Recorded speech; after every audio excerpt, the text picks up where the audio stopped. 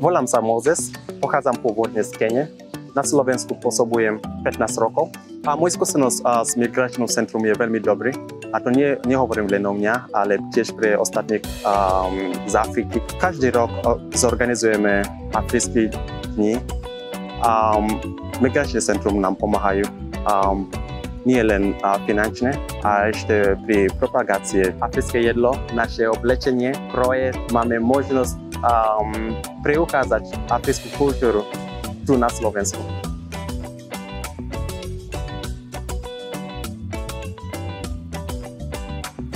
Вітаю, мене звати Дар'я Огороднік.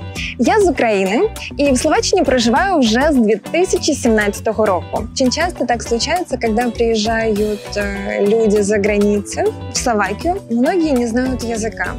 И поскольку не знают языка, не всегда могут понять, куда и к кому обратиться за той или иной помощью, с тем или иным вопросом.